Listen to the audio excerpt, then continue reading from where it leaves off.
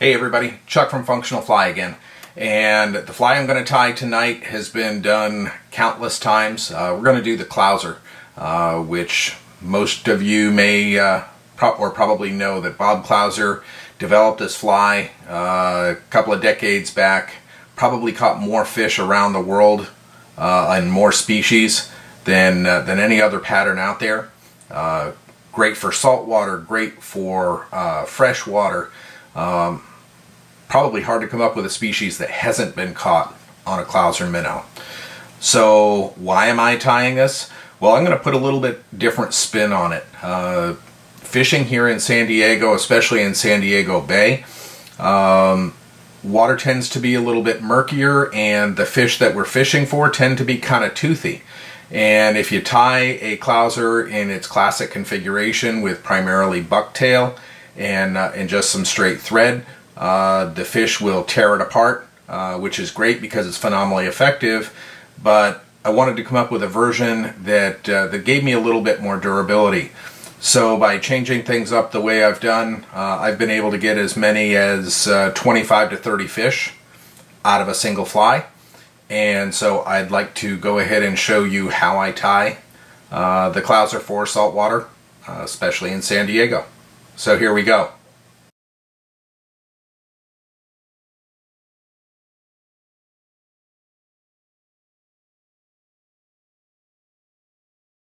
In the vise. I have a Partridge Sea Prince hook in a size 4.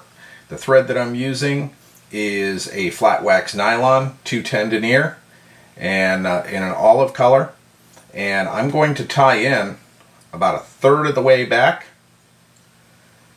get a few turns in trim away the tab and now a lot of times you'll see me spin thread to flatten the thread out I'm going to do just the opposite right here. I'm going to really spin it and let it spin for a bit because I want that thread to cord up. And the reason is, is that I'm going to build a bump right at that third of the waypoint.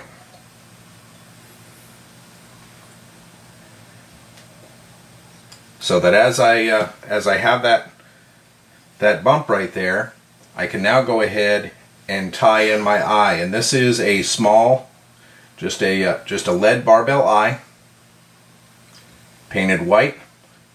And I'm going to do two X-wraps in either direction. And I don't want to do any more than that. I've tied that right up against the front side of the bump. And I'm going to check my alignment. The reason I don't want to make any more turns at this point is that I want to, uh, I'm going to make one turn just on the bare hook just to keep everything settled. I want to be able to get at the point of contact where that barbell meets the hook shank.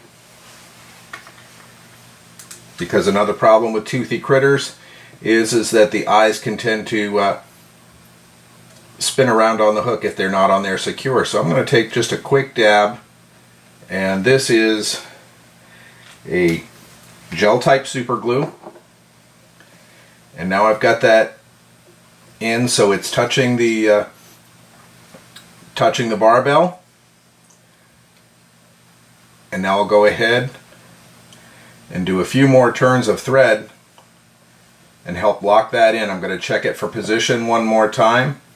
Make sure that it's squared up on top once I have those X-wraps in, now I'm going to do what I call a saddle wrap. And on this, I'm going to go up and over the hook shank. I'm going to come underneath the eye on the other side and then come back up over the hook shank. Do that again and I'm going to do it multiple times and I'm putting really strong thread pressure on this, borderline breaking the thread because it's these tight turns, not the X-wraps, that are going to help hold that eye in, in position. So that in conjunction with the um, with the super glue will lock that in solidly. Now I'm going to come forward about halfway between the barbell eye and the hook eye. And my next step is to tie in what's going to be the underbelly. So I have some unique hair here in a polar bear color. And I've cut the, the length in half on this. And what I'm going to do now is I don't like any bait fish to have a blunt wing to it. So I'm going to take and just twist that material out just a little bit to develop a taper. And as I do that on the one end, I automatically get a taper on the other end as well. So then what I'm going to do is I'm going to fold this material over double. And this fly is going to be relatively heavily dressed. Now, if you watch uh, Mr. Clouser tie his own flies, you'll see that they're typically very sparse. And what's important to understand is there are times when you want to have a sparse dressing and times when you want something fuller. And the big thing is, is that that's going to control your sink rate. The more fully you dress the fly, the more resistance you're going to have against the water, so it's going to sink more slowly. You can also adjust that by putting a larger or smaller eye on.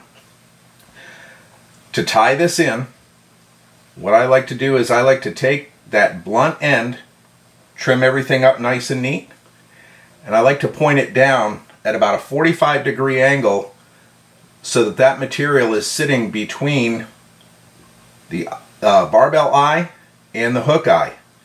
And it's just sitting right in there. I'm going to come in with a gathering wrap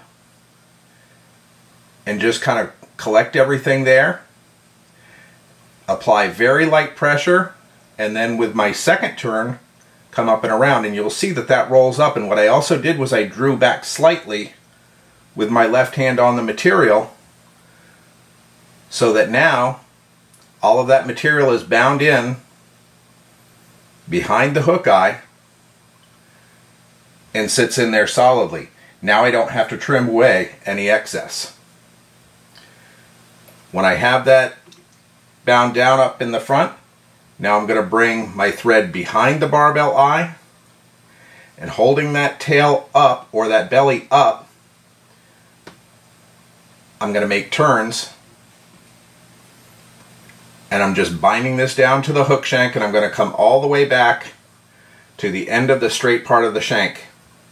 And I'm just checking that to check my line, make sure that the uh, Make sure that everything is extending straight off the back. I don't want it to bend and, and go down uh, onto the bend. So right there is as far back as I dare go. Now, if you uh, if you're tying flies where the water is a little bit murkier, I want to put in a little bit more flash to help the uh, help the fish find the fly a little bit. So I have probably 10 to 12 strands of crystal flash that right in back at the end of the abdomen. I'm going to tie that crystal flash in. And then once I have it tied in with a single turn, with just moderate thread pressure, again, I'm going to draw back those tips so that I can avoid having to trim away any excess and lose any stray fibers. Now everything is going to get caught up in my next turns.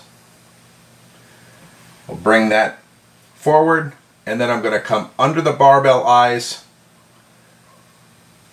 and take one turn, one complete turn in front.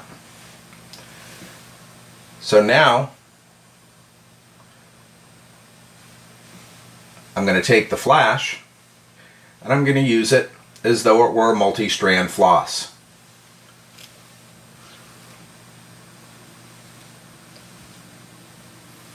I'm going to avoid that hook point. And I'm going to wrap that right up the back of the fly. Now when I get to the point behind the eyes, I'm going to come up over the top.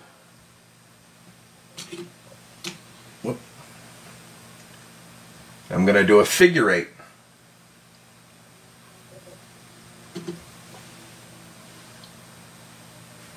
All the way around. Then I'm going to come under and on the underside of the hook I'm binding that down And then the last thing I'm going to do is I'm going to take those strands, use the tips of my scissors to kind of separate those.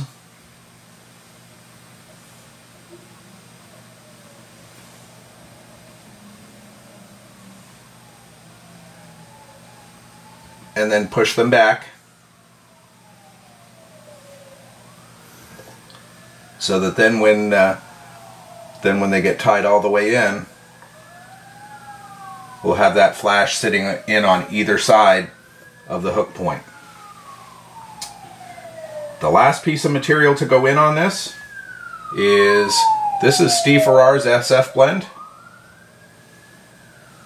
And I've done the same thing to this that I did with the, uh, with the belly material. I love this stuff uh, for bait fish patterns like this because it has a little bit of flash to it, but it's not excessive. I'm going to measure this off. I want the belly to be approximately three times the length of the hook shank, and I like the wing to be just slightly longer. So I'm going to measure that off to the length that I want it to be. Trim away the excess. And then to tie it in, we're going to do exactly the same thing. I'm going to wedge that in between the barbell eye and the hook eye. One loose collaring wrap. Then the second turn, we'll bring it up over on top of the hook. Then I can draw it back gently with my left thumb and forefinger.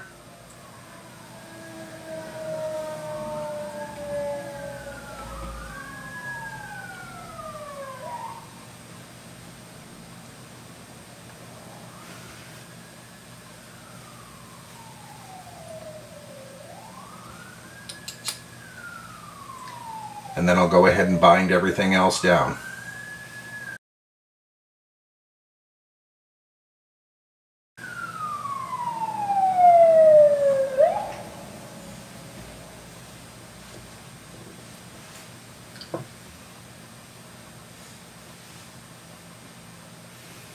Now once I have that done, I can go ahead, I can turn the fly back over, One little piece sticking up here, so I'll trim that away.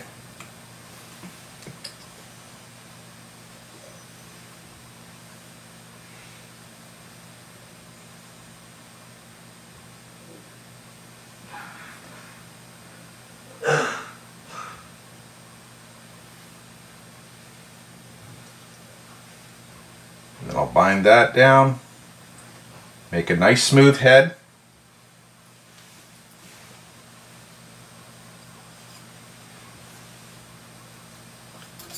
Take my whip finisher.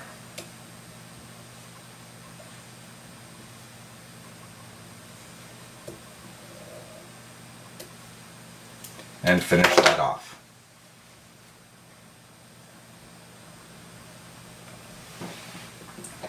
Now at this point there would only be one potential problem with this and that is with wrapping the crystal flash up through here like floss if the if a toothy fish were to bite into that, all of those uh, fibers could just unravel and, and create a, a, tangle that wouldn't look real good.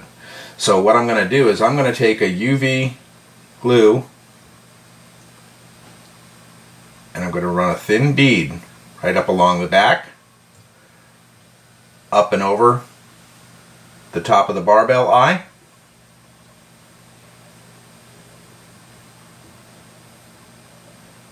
and this is uh, this is a thin formula. Not the uh, not the flow not the thick. So I'm just gonna spin that around a little bit let everything flow and start to come together. And then I'll go ahead and hit it with the glue or hit it with the light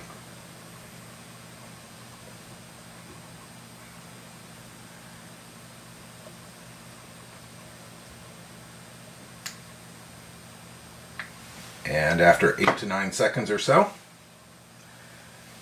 now I've got a fly that's extremely durable. It's got a, good amount of flash to it.